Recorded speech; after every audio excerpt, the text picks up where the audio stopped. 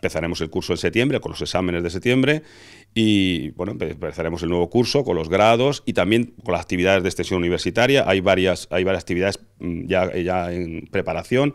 Tenemos unas jornadas de geopolítica que son las que habitualmente hacemos con la Comandancia General y también estamos, estamos terminando, estamos ultimando unas jornadas eh, de criminología.